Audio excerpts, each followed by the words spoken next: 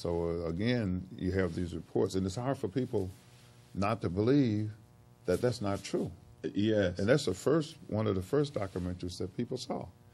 They saw Mark Curtis telling uh, about what happened at the store, and it did not happen the way he said it happened wow. because he was not even there. Wasn't even at the store. But later, uh, for his credit, he did recant to Emmett Till's mother and said that he was saying what he heard other people say. Oh. So we, we were glad that that happened, you know. Yes, yes. My goodness, that's real. That that's one of the uh, things that we talk about um, uh, under respect. We talk about elevating our understanding. Uh, it is so important that we think above and beyond, and not just accept things at face value or the first time you hear it, or, or just because you see it on television. So. It, it is great to hear firsthand some of the things that happen. Yeah, it make you should question a lot of things. Mm-hmm. Yeah. Mm-hmm. After that, and I started reading what they say happened. Yeah.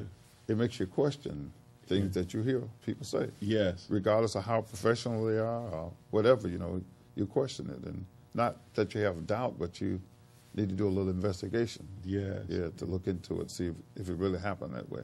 That that makes perfect sense. That makes perfect sense. Well, let's continue with the story. So, um, this whistling happened. You all left and went back to the house, um, Mose Wright's house. Is that Well, well, we didn't. What we did, we we jumped in the car, and of course, first we couldn't get going because someone lost a cigarette in the midst on the floor, and my uncle was trying to find the cigarette. and uh, Emmett Till got was very anxious at this time because you know everybody's when everybody panicked, he got scared. He realized, he, had, Oh. he realized he had done something wrong.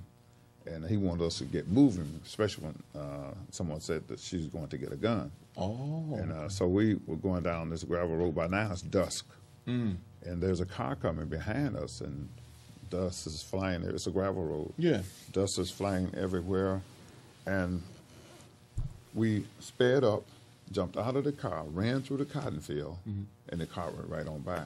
Mm. So we regrouped at the edge of the road, and somewhere in the interim there, Emmett Till begged us not to tell my grandfather about what had happened. Oh, And so we didn't. But there was a girl, her name was Ruth, and Ruth said, "Look, I know those people. So this is not over. So you're going to hear some more about this." I'm going to pause right here just for a second. Ladies and gentlemen, we'll be right back again. We're talking here with Wheeler Parker. Stay with us. You don't want to miss the next part of this story. We'll see you back shortly.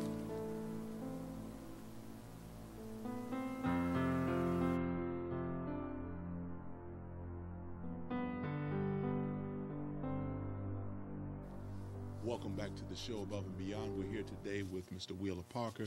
We left off talking about what happened in that field uh, once you all got out of the car. Let's pick the story up right there and tell us what happened then. We stopped and jumped out of the car and ran through the cotton field, and the cotton bolls was, they was kind of out all open, so they beating our legs, and we were running over each other until fell. Somebody fell over him, but so the car went by. So we said, well, there was nothing to that. Okay. So we regrouped at the edge of the road, and uh, Till begged us not to tell my grandfather, but there's a girl there named Ruth, and she said, "Look, I know those people, and this is not over. You're gonna hear some more about this." Mm, And uh, they, because they had done things to other people, but okay. We didn't really take it to heart. You know, Right. nothing's happening right now, Right. and uh, so we, we didn't take it to heart, and we forgot about it. It's Wednesday evening. Okay. So Thursday happened. We didn't look for anything. Mhm. Thursday came by. Nothing happened. Friday, of course, we definitely have forgotten about it now. Right. Saturday, and on Saturday, you know, down south, everybody go to town. Okay. Even Yeah. If you work a half day, you go into town. everybody gather from all the country, uh, the cities and hamlets, and talk. And so we had a good time up in Greenwood, Mississippi. Okay. And then we got home. On the way home, uh, my uncle Maurice, same age as I am, a little younger, Yeah. he ran over a dog, Mm. and uh, Emmett Till, Emmett Till started crying because Mm. uh, he loved animals, uh, cats and dogs, and uh, like I said, he he's a very, had a sensitive side. In spite of all this fun loving prankster type ways, you, know, you would think that he wouldn't have that, but he had a sensitive side of it. Okay. And uh, we got home about 12, 12.30, thereabout. Mhm. And uh, we went to bed, and about 2.30 or so, I could hear someone talking to my grandfather Mm. and they talking about what happened at the store. And I remember them saying we're looking for a fat boy from Chicago. Someone had told them where we live. Mm. and that it was the he was a kind of chunky kid, Okay. and um, and it was so dark. You could hear my tongue, but you couldn't see anything. You couldn't see anything. And I'm kind of bucking my ass, and I'm thinking. And this is about two thirty in the morning. About two thirty in the morning. It's mm-hmm. a terrible way to uh, a terrible way to wake up. Yes, yeah. And not all, it's not a pleasant two thirty to, to wake me woke up at two thirty is stress enough in itself. Yes, it is. and then someone talking about they looking for somebody from Chicago, mm. and uh, my grandfather not knowing what room he was in is a former landowner's home, big house, four bedrooms, screened in porch. Mm. So they came into the porch, and to the left was my grandfather's room. So he knew he wasn't there. So the only place to go is to the right. Okay. And in that right room, that's where I was. Mm. And it was so dark. It was like dark as a thousand midnights. Mm, mm, mm, and they were coming toward the room, walking, and you just waiting. You don't know what's going to happen. Yeah. Your imagination's running away with you. I would, yes. And in they walk in with a gun in one hand and a flashlight in the other. And I, the whole bed was shaking. Like, mm. and I started praying. Yeah. And I said, God, if you let me get out of this, I'm going to do right. It seemed like all the bad things you ever did come with you, you're going to die. Yes, yeah. Yeah, so uh, they they stopped there and they looked at me and uh, I'm waiting to be shot or whatever they're going to mm. do to me. It's a, it's an awesome feeling. I, I would imagine. And, and, they were large. This one guy that had the pistol, he was a, a large figure, mm. about 6'4", 260 or something like that. Mm. And we're in bed. And so they passed on by. They didn't do anything to me, and they went to the next room where my cousin Curtis, the one that did the uh, interview on Eyes on the Prize, yes, he was there. Uh, by this time, he made his uh, way to Glenwood to Money. Uh, he was in bed with my uncle Robert, and neither of them woke up. Mm. And it was good he didn't because Curtis was the type of guy. Uh, it would have been it would have would not have happened like it happened if Curtis had woke up. Wow. Yeah, that, he's that kind of person. Okay. And probably been a lot of shooting and killing in the house. My goodness. Uh, he was pretty outspoken, I think. Yes, plus he, you know, he's a, he was the type of person. Even after that, he wanted to stay. He get his guns ready. Oh. When he found out the one he had didn't even work. so, so well, he, he was all he, he did the calling back to Chicago. And he's 18, mm. and he became uh, a police, and he was Mayor Washington's bodyguard. No kidding. Before he died, passed away. So they went on to the next room uh, where they found uh, Emmett in the bed with my uncle Simeon. Okay. Simeon was 12 years old at the time, and uh, of course they got Emmett up and told him to get dressed and told Simeon that he could go to sleep. And grandmother went out the back door to try to get some help from the people next door, yeah. which were Caucasian people. Yeah. And uh, Emmett wanted to put on his shoes or socks, and he was saying, "Yeah, no." And they were very irate, and they were very vocal about it, you know. Mm. So eventually, they took him and they left with him. And uh, after they left, it was just so quiet. Nobody talked to anybody in the house. Nobody went to the other room mm. to talk to anybody. My grandmother left. My grandfather left he had to take her to her brother's house in Sumner, Mississippi. Yeah.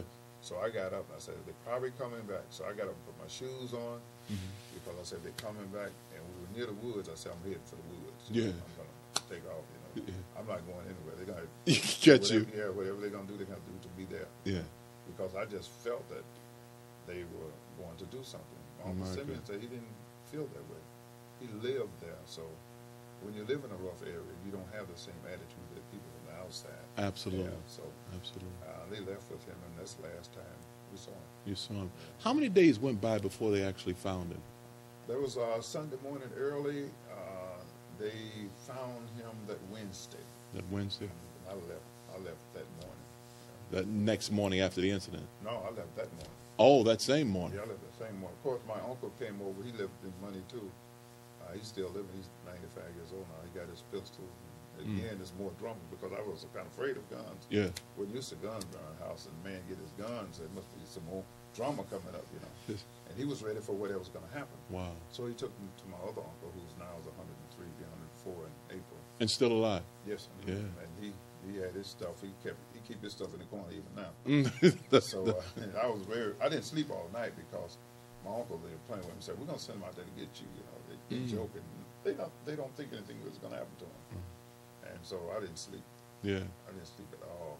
Yeah. he took me, put me on the train. When when you came back, that that is a, a an amazing uh, account. When you came back to Chicago, did you follow the news report? Did you keep up with phone calls or whatever as to what was happening down the line with um, them finally finding him? Because if you were this disturbed before they found him, I imagine after you heard they had found him, that that didn't let you sleep too good either. I imagine. Well, it's kind of a paradox. Uh, uh, I don't understand it, but I never had any sorrow or remorse about it. Mm. And I ask people to help me to understand that. And some said maybe you were in shock, and God was just protecting, protecting me. Yeah. So I never had any ill will about it. Okay. Because deep down within, I say I'm going to see him again. All right. So if you say you're going to see someone again, you can't have these feelings. I understand. It would be contradictory. You know? Yes. Yes. So um, we got the report, and I heard the report, Yes. but I still didn't accept it. Okay. Didn't, didn't accept it. And I saw one. Uh, there's a man in town had a business Mhm. looked just like J.W. Milam, the one that came in had pistol, the big guy. Yeah. And man, I saw him one day in my heart. So I like, stop, you know, man, he's here. you know. Thought he came to get you. Yeah, yeah, he's, he's here. So Wow. there was a lot of fear, but no sorrow, remorse. Did you go to the funeral? Went to the funeral, no, nothing, nothing like that. And now I, I can't watch it now. I'm, I'm gonna, I end up crying, you know, and that's that's 50 years later though. Wow. Yeah, so That, that's amazing. I remember reading one report um, that at the time of the funeral, they gathered a lot of uh, money together because uh, of what Miss Till, who you actually allowed me to speak to her on the phone before she passed, and she um, told me some of her parts of the story as she understood it from the point that she heard about it.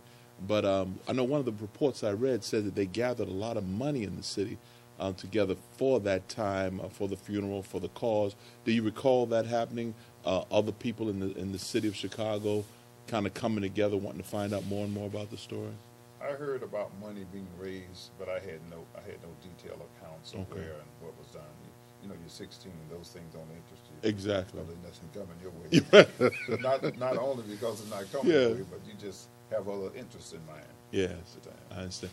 Let's let's look at this because we know the court case um, uh, went on for a while. They were allowed off, even though later on, according to reports, there was a story told uh, admitting to uh, this crime being committed and and young Emmett being killed.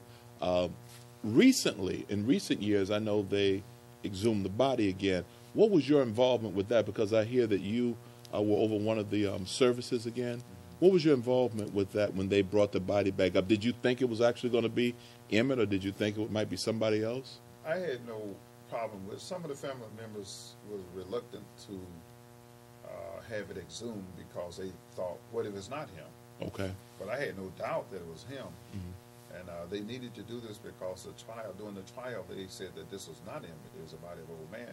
So it never been proven that this actually was Emmett. Mm. Defense used that, and that's how they won. It's not Emmett. Emmett is somewhere in Detroit, amen. And, and that uh, his mother and father, they're just trying to embarrass Mississippi. So they needed to exhume the body, and they did a DNA Mhm. to prove that it was him. So it definitely was him. And when we recommit his recommitted his body, Mhm. I did the eulogy, and I told him that Emmett speaks louder in death than if he had lived. Wow, that was beautiful. Here, here's something that I'm curious about that I'd like our our viewers to kind of get a sense of. Uh, oftentimes, especially during certain times of the year, um, oftentimes we go back into history as we remember those who who came before us, and we talk about various events that have happened. Um, some do it just for the sake of hearing a good story. Um, some do it uh, for the sensationalism of it all. What is your purpose behind sharing? Because I know you travel throughout the nation, um, talking at various colleges, universities, schools, and, and small groups about this. And I'm, I'm very honored that you've um, chosen to share this story this time with the rest of the world. What is your idea or hopes for those who hear the story will do now? Well, I, I approach different groups in different ways. Okay. The African American um, uh, people, I try to tell them need to know your history. Mhm. There's so much. I'm learning all the time. They've been running a special on Percy Julian. Just learning about him. Uh, we just need to know our history. No one put it out there. Who's going to tell the story? Right. The mass media is not going to do it, and it seems like we don't have the funds to do it. The Jewish people will not let you forget the Holocaust. That's true. You're going to know about That's their true. history. So we need, and sometimes when you know your history and understand what we've done, what we've contributed, Mhm. you feel better about yourself. That is true. And I approached uh, some of the uh, other schools, uh, and I tried to tell them that the only way difference is going to be made is going to be made with people that's in power. Mm. Anytime African American made progress, there was always some whites that was there to further the cause. Okay. Abolitionists, the NAACP, Mhm. uh, look at President Johnson, they were there. So I'd say you guys are going to be one that's in power, in position. You can make the difference. Mm. You have to stand up and do what's right when it comes time. You're not going to be popular. One guy said, "Well, I'm going to do what's right." I Mhm. said, "You're not going to be liked. That's right. You have to do it." So we need to remember, history is an intricate part of uh, America, It is. and we have world history, Mm-hmm. we have uh, state history, and we have the uh, country history. So that's an intricate part of that has been left out. Mm-hmm. Even the whites do not know the history. Right. Right. They just have been taught a perception. That's right. We were lazy, shiftless, Right. and when you try to, they need to know the things that we invented, contributed to make America what it is. That's right. Besides the backbreaking work. right, right. Uh, that that education is so important. Being able to have knowledge. One of the things that I I, I talk about is that um, education is not power in and of itself. Is what you do with that education, what you do with that knowledge once you have it, and that's why it was so critical for me to find out what your vision was um, um, in talking about the story and those incidents and, and things like that. Just what your vision is with that. Uh, you have been very enlightening for us. I really appreciate you taking the time to come on and share this with us. I know this this very subject alone, uh, uh, along with all the other subjects, you could just talk all day long about. But it is so good to to hear some of the truth from someone who was actually there as a part of it. So I want to thank you again for being with us on the show. Appreciate that very much.